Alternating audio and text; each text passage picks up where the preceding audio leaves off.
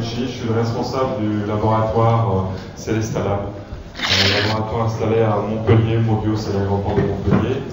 Euh, nous sommes un laboratoire d'études, d'analyse, sol et produits organiques, et spécialisé en fait dans tout ce qui est caractérisation biologique, que ce soit au niveau du sol ou que ce soit au niveau de la matière organique exogène qu'on rapporte.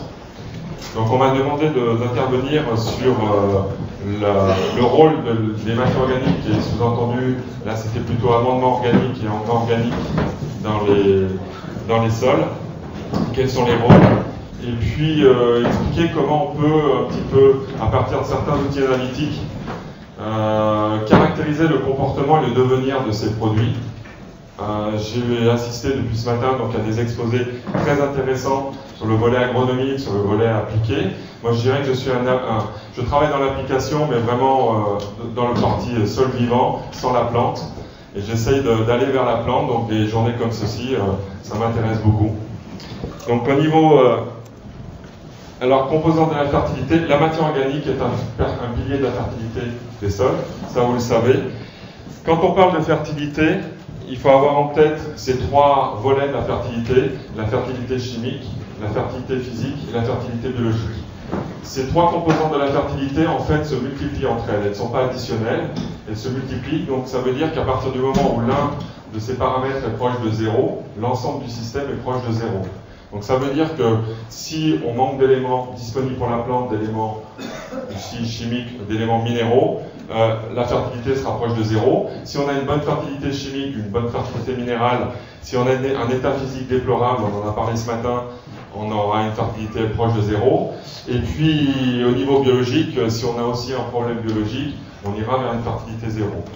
Donc la matière organique, en fait, elle nous intéresse parce qu'elle va être au centre de ce triangle de fertilité. Alors je dis la matière organique, mais il faut vraiment parler au pluriel. C'est les matières organiques. Les matières organiques, elles sont très différentes, différentes qualités, différentes fonctions. Donc on va essayer de voir un petit peu comment on peut les caractériser. Et puis évidemment, je simplifie le système à l'extrême. Moi, ce qui m'intéresse, c'est un petit peu les flux de matière organique, les flux de carbone dans les sols. Et euh, je m'intéresse là, je vais vous parler plutôt de ce qui rentre et comment on peut caractériser ce qui rentre et définir un petit peu les fonctions de ce qui rentre. Alors, ça veut dire aussi qu'à travers la matière organique, sur ce type de, graphique, on peut voir qu'on joue sur la fertilité biologique en jouant euh, sur, les restitutions en termes de quantité et de qualité. On a parlé beaucoup de restitution de biomasse depuis ce matin. Il faut de la biomasse. Il y a une question, est-ce qu'il faut de la biomasse pour faire un, sol vivant? Oui, il faut de la biomasse. Il faut vraiment avoir en tête que la matière organique, c'est du carbone, le carbone, c'est l'énergie. Donc il faut ramener de l'énergie au système, et il faut ramener de l'énergie sous différentes formes. Alors, euh, moi je vais passer à la question un petit peu pratique, pour essayer de recentrer. Comment on choisit sa matière fertilisante, ces matières fertilisantes euh, on peut avoir une approche un petit peu normative. Donc dans l'approche normative, on va avoir une réponse en disant est-ce qu'on veut chercher à améliorer le sol, la structure, etc. Donc c'est une réponse de type oui, il faut un amendement organique. Et on va regarder là du côté des... Non, moi je fais référence aux normes NFU 44051, 44095. C'est les amendements organiques qui sont euh, définis euh, par la FNOR. Donc vous avez tout un tas de typologies. Voilà, donc là vous avez une première réponse. Si on veut euh, nourrir la plante, on va parler d'engrais organiques. Donc les engrais organiques qui sont définis dans une autre norme, c'est pas la 44, pardon, c'est les 42. Donc c'est la norme 42. Et puis on parle depuis ce matin nourrir la faune et la microflore, parce que quand vous dites nourrir votre sol, c'est d'abord nourrir la faune et la microflore. la faune et la microflore, pardon. On parle de sol vivant. Donc dans le sol, Bon, je veux bien, bien qu'un sol soit vivant, mais les pas de temps de vie du sol, ils ne nous intéressent pas, c'est 15 000 ans et plus. Donc ce qui nous intéresse, nous, c'est vraiment euh, la partie euh, faune, microflore, la vie du sol, les racines éventuellement. Voilà. Et donc là, nourrir la plante, le NF, non, il n'y a pas de NF. Il n'y a pas de produits, en tout cas sur le marché, qui sont définis pour nourrir la microflore. Donc il va falloir les chercher ailleurs, et c'est là, on va, je vais vous présenter un outil qui va nous présenter un petit peu euh, comment on peut choisir des amendements, des produits organiques par rapport à leur profil, leur profil biochimique. Donc on fait de l'analyse biochimique des produits, et à partir du profil biochimique, on pourra définir un petit peu sa fonction. Je vais vous parler d'indice de stabilité de la matière organique et d'ISMO. Et puis, euh, il y a d'autres volets pour aller un petit peu plus loin, pour essayer vraiment de mimer la réaction du produit dans le sol. On va aller vers des analyses un petit peu plus poussées, des analyses en incubation, qu'on appelle minéralisation du potentiel du carbone et de l'azote, qu'on appelle trivialement ciné de carbone et azote. Voilà, donc ce sont des outils qui vont nous définir les potentialités des produits. Quand je dis produits, c'est produits organiques au sens très large, les résidus de culture, euh, les paillages et autres, je vais les mettre dans les produits, dans les notions de produits. C'est-à-dire que moi, ce qui m'intéresse, c'est que ce qu'on ramène au sol, pas comment on le ramène, mais ce que l'on ramène. Alors, voilà l'outil qu'on va utiliser. La matière organique, les matières organiques, elles ont tout un point commun, c'est qu'elles sont d'origine végétale. La majorité de la matière organique sur la planète, 90%, c'est le végétal. C'est le végétal par la photosynthèse qui fixe le carbone, qui transforme le carbone en molécules plus ou moins complexes, en sucre simple, sucre, sucre soluble, etc. Et on va vers des composés de plus en plus compliqués.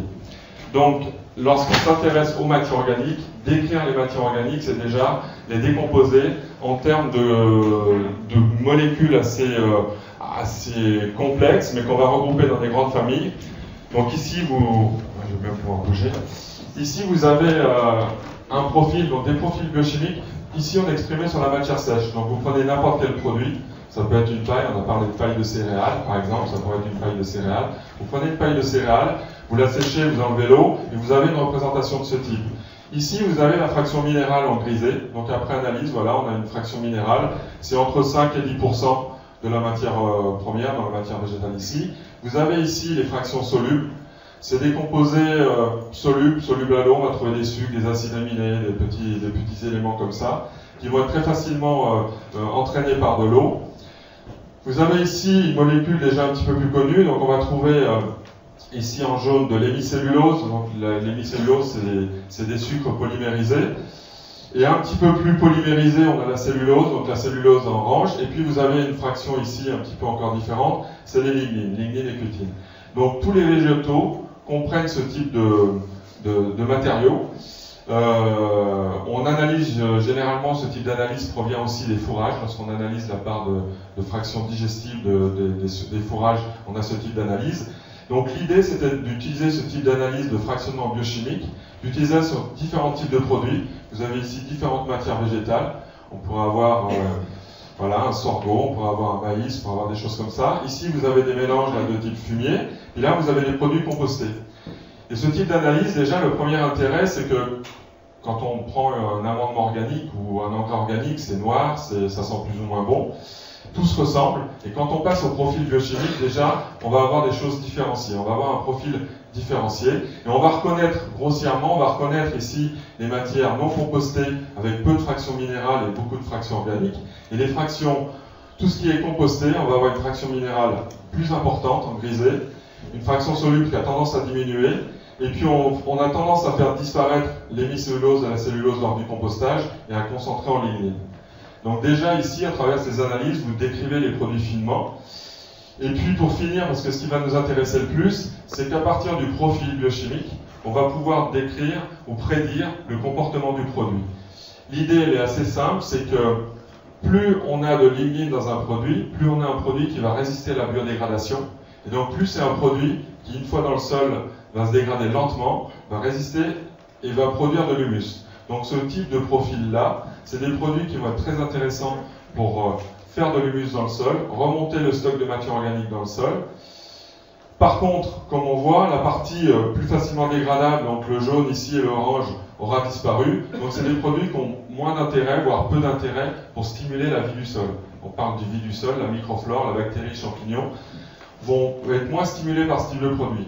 Inversement, lorsqu'on est sur des types de produits comme ça, on a moins de limites, par contre on a beaucoup de produits solubles, de l'hémicellulose, de la cellulose, comme celui-là. Et là, on a des produits qui vont fortement stimuler la microflore des sols et stimuler son développement.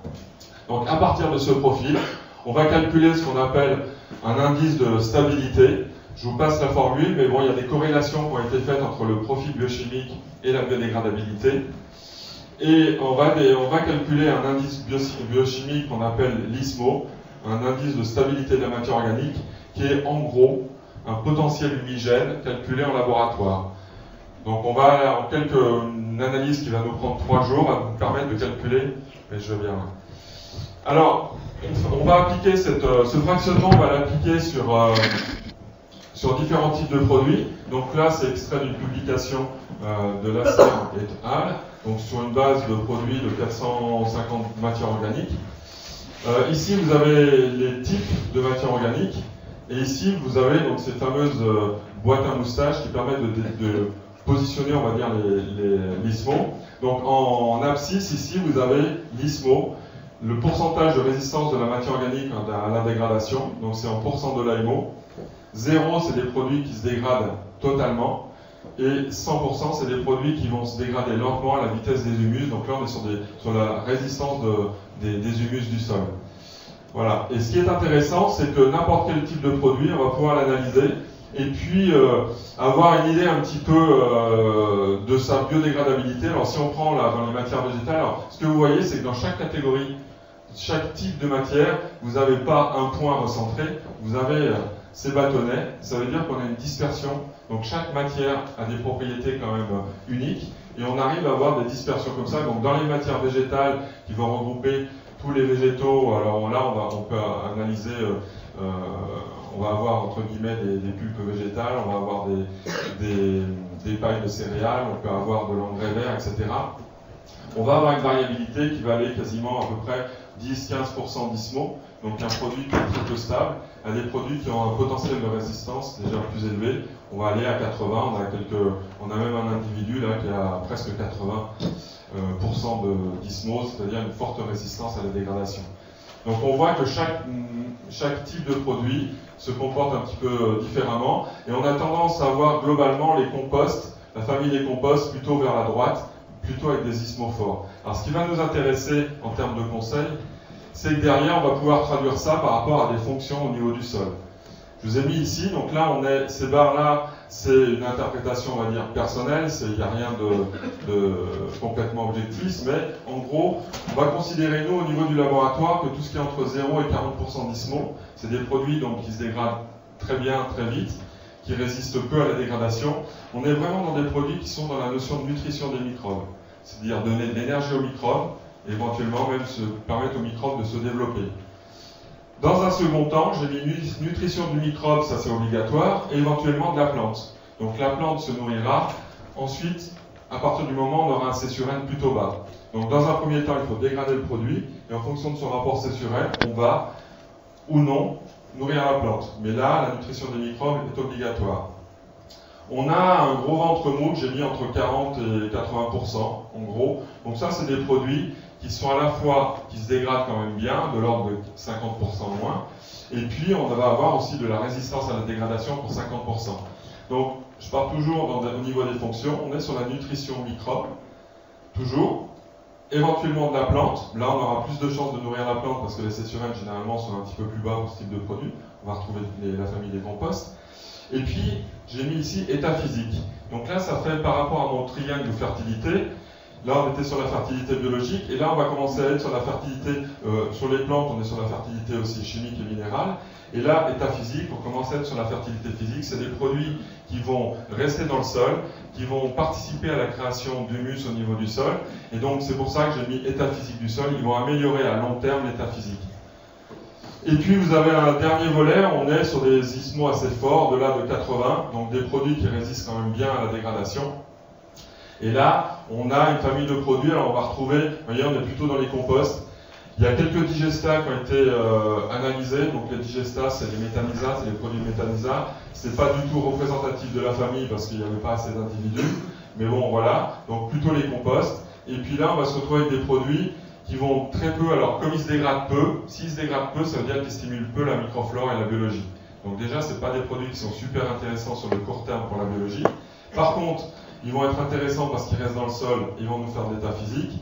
Et éventuellement, j'ai mis nutrition, donc nutrition de la plante, parce que là, on est dans, des produits de masse. C'est des produits qu'on peut amener à 15 tonnes, 20 tonnes hectares. Donc, c'est des produits qu'on amène, par exemple, à la plantation euh, sur une vigne, sur un, en arbre, voire en redressement, quel que soit le type de sol, en redressement du stock de matière organique. Donc, on a un effet masse. Et finalement, même s'il y en a très peu qui se dégradent, on finit par relarguer quelque chose parce qu'on a amené 10, euh, 15 tonnes, 20 tonnes. Voilà, donc déjà ce type d'analyse est assez intéressant pour rentrer dans le fonctionnement de la matière organique. Et puis on va pousser un petit peu plus loin parce que là, on ne sait pas trop ce qui se passe au niveau de l'azote. Je vous ai dit il se peut que, on n'en est pas sûr. Donc pour aller plus loin, on a un autre outil. Donc on a ce qu'on appelle des incubations contrôlées qui nous permettent de déterminer un potentiel de minéralisation du carbone à gauche, un potentiel de minéralisation de l'azote à droite. En fait, on fait des mélanges sol plus produits organiques et on suit la dégradation du produit organique pendant trois mois en laboratoire. Et on va suivre la transformation du carbone organique en carbone minéral, donc c'est ici, donc en CO2. Et on suit la transformation de l'azote organique en azote minéral, donc azote nitrique et azote ammoniacal.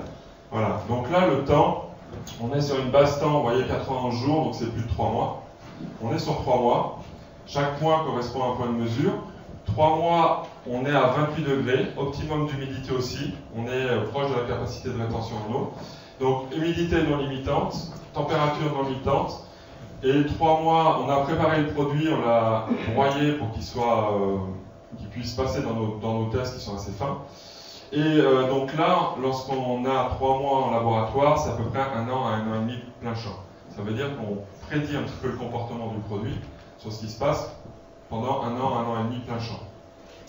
Et là, la lecture, elle est encore plus fine. Euh, si on reste ici au niveau du carbone, donc ici, c'est la quantité apportée. J'amène 100 de carbone dans mon produit, c'est exprimé en pourcentage. J'amène 100. Et plus on monte, plus on minéralise le produit, plus on, le dégrade. Donc ici, c'est des mesures de respiration. On dégrade, la, on dégrade le produit. Et on a différents types de produits. Alors j'avais pris cet exemple parce que là, vous aviez un premier fumier bovin, un deuxième fumier bovin, un troisième fumier bovin, peu importe. Et on voit très bien que déjà ces produits-là, qui sont ici, ils vont pas avoir, c'est pas parce qu'ils s'appellent fumier bovin qu'ils vont avoir exactement le même comportement. Ils se dégradent à peu près à 50%. On voit qu'on va à une asymptote, une stabilisation, donc on n'est pas très loin du potentiel humigène du produit. Et puis, euh, ce que l'on compare aussi ici, c'est que j'ai mis ici dans le, dans le paquet un compost de fumier bovin. Et donc, on voit très bien que lorsqu'on composte un produit, on le brûle déjà par le compost, on le stabilise, on le transforme, et la matière organique qui est apportée par ce produit-là est beaucoup plus stable que celle qui est apportée par ce produit-là. Tout ça, c'est fait à la même quantité de carbone apporté. Donc ici, on voit que ce produit, en gros, en un an et demi, il va se consommer à peu près 15 à 20%, ou alors une quinzaine de pourcents. Alors que ce produit-là, on est né à 50%. Voilà, ça c'est matière végétale, et sur ce fumier-là, on est aussi à 45%. Donc on voit qu'il y a des, écarts. Et on peut choisir, alors si on prend ce type de produit-là, plus on est élevé, plus c'est des produits qui stimulent la biologie, plus on est bas, plus c'est des produits qui stimulent peu directement la biologie, qui vont participer plutôt à la construction du sol sur le moyen et long terme. Là, on est dans la CEC du sol, on a des choses de long terme. Alors ça, c'est très bien, c'est pour le carbone, donc ça nous permet déjà d'avoir une vision plus fine de la biodégradabilité du comportement du produit dans un sol. Et par rapport à l'azote, alors ça va être l'azote va être plus compliqué.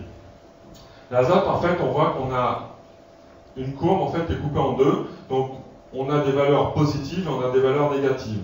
Quand on est en positif, c'est des produits qui relarguent de l'azote. Ça veut dire que lorsque j'amène 100 kg d'azote, je relargue 10, 20, 30, 40 kg d'azote. Et lorsqu'on est aux alentours de zéro, donc ça c'est des produits qui sont neutres, ni libèrent ni consomment de l'azote. Et quand on est en dessous de zéro, c'est des produits qui consomment de l'azote. Donc c'est des produits, et là je vous rappelle, on est à peu près sur un an, un an et demi plein champ. Donc euh, quand on prend les produits, on voit que là on a un fumier qui se comporte comme un engrais, c'est-à-dire qui va libérer de l'azote et qui va pouvoir nourrir la plante. C'est ce premier fumier. On, voit le deuxième fumier, là, il commence par une immobilisation. Donc lui, le deuxième fumier, lui, il n'est pas du tout en grès. Vous voyez, pendant un an, il va consommer de l'azote. Alors, c'est pas grand-chose. Lorsqu'on amène 100 kg d'azote, il va en consommer à peu près 10 kg. Donc, non seulement les 100 kg, il ne libère pas, mais il consomme 10 kg qui proviennent du sol qui lui fournit. Vous avez un autre fumier qui commence par immobiliser, qui relargue au maximum, on va avoir, donc là on passe par du moins 20 kg et on monte à plus 5 kg, plus 10 kg. Donc euh, voilà, le bilan sera plutôt positif, mais on passera par une fin d'azote à un moment donné. Quand on est en négatif, c'est une fin d'azote, c'est une compétition par rapport à la plante. Et vous êtes ici sur les matières végétales, donc là c'est un broyat de matière végétale, et là on pompe de l'azote pendant, pendant plus d'années. Là on est sur l'équivalent d'un cipant, puisque ici en maxima, on arrive à 40-50 kg d'azote consommé pour 100 kg d'azote apporté par le produit. Donc non seulement on ne libère pas ces 100 kg, mais on va pomper 50 kg dans le sol à cet endroit-là. Voilà, enfin, à ce, niveau-là. Donc une des applications, par exemple, qui est assez connue au niveau de ces outils-là. Là, on, a glissé un petit peu vers la biomasse microbienne sur l'efficacité. Vous avez, euh, c'est un essai qui a été fait au Sérail, donc à la station de, de Brindas, station légumière de Brindas. Pendant plus de 15 ans, presque 15 ans, ils ont fait des essais d'apport de matière organique et de voir l'efficacité de différents types de produits sur le sol, sur le fonctionnement du sol. Et vous avez ces différents types de produits. Donc ici, on a la terre témoin. Alors, en ordonnée, ici, mon indicateur biologique, c'est la biomasse microbienne, c'est une quantité de microbes. On exprime ça en milligrammes de carbone microbien par kilogramme de sol. C'est des mesures qu'on peut développer, qui se développent, qui sont en routine. On mesure une quantité de microbes. On voit notre témoin ici aux alentours de 190. Voilà. Et puis, euh, ces produits-là, donc ça a été fait, euh, cette, euh, cette mesure-là a été faite après 4 ans d'apport. Tous ces produits ont été amenés à la même quantité. C'est la même quantité de carbone, c'est 2,5 tonnes de carbone par hectare et par an. Donc c'est la même quantité de carbone, par contre, ce n'est pas tout à fait la même qualité. Ici, on est sur des composts, composts végétaux, composts d'écorce. Ici, on est sur nos fumiers, et là, on est sur un tourteau, sur un produit industriel qui est un tourteau, un mix.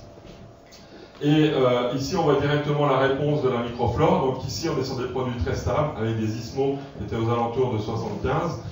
Et à la sortie, on a euh, un effet par rapport à la terre témoin mais qui reste euh, relativement faible. Bon, on a gagné 30 euh, points, 20-30 points de, biomasse microbienne.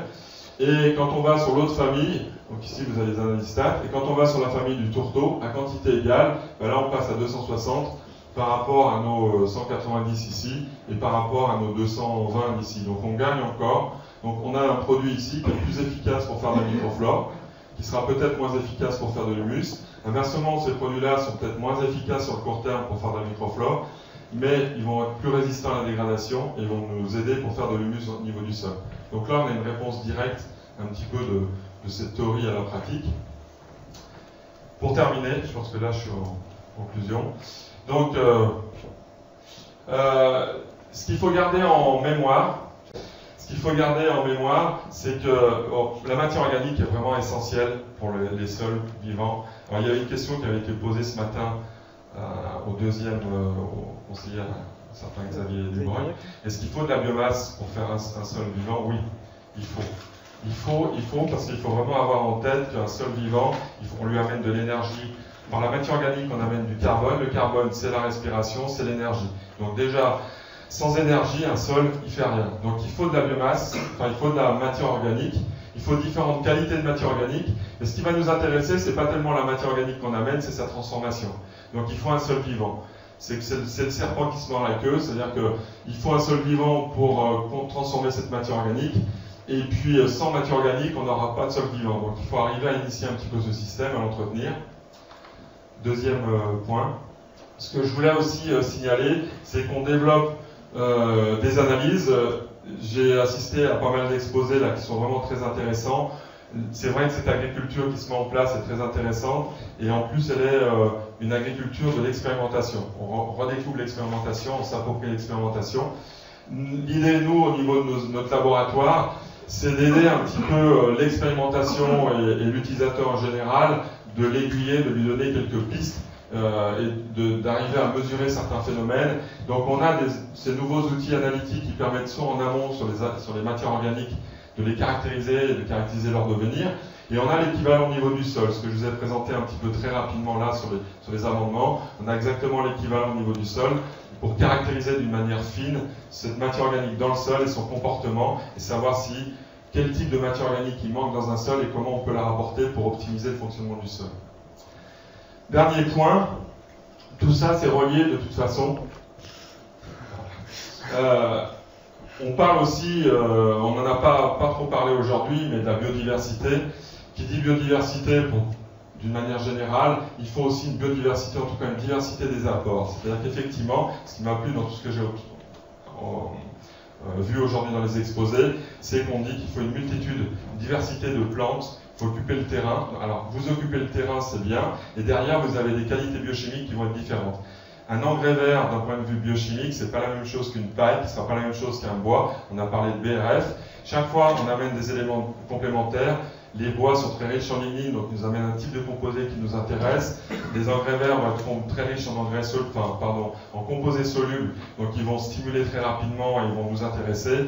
il faut vraiment cette diversité des apports. Après, on peut, je vous ai parlé de compost, je vous parler de fumier. On peut aller chercher après des engrais organiques entre guillemets dans le marché.